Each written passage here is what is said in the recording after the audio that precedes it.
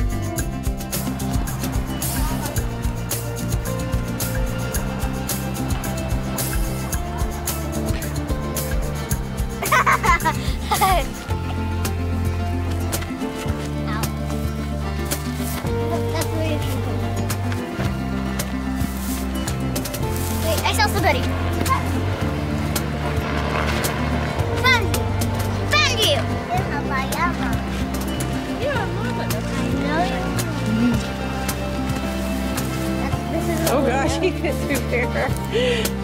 I don't think I can go sideways through there.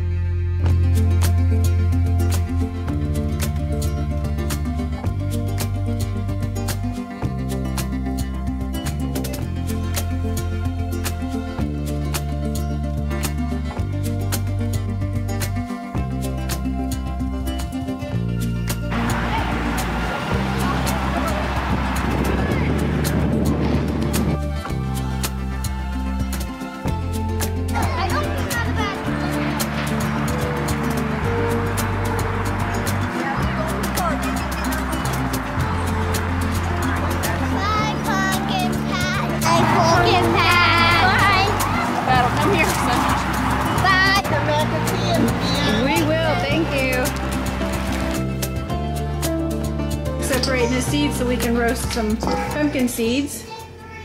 We're gonna soak them overnight in water.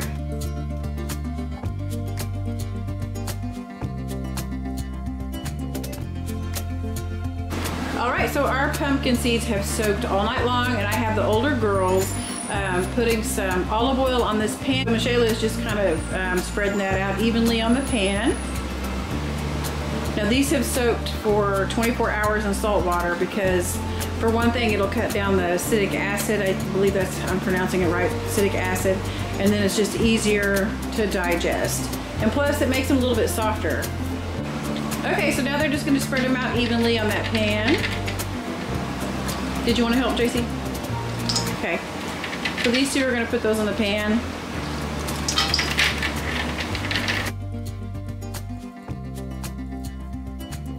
Um, the other two have helped spread them out. She's gonna salt them. JC Lynn's gonna salt them real good. I think that's probably good right there. And you can season them any way you want to. So we have them coated in olive oil and then she just sprinkles some salt on there. I'm gonna bake these at 350 for about 15 minutes and then I'll pull them out and give them a good stir and maybe put them in there for about another five. Perfect. And here they are. They taste great.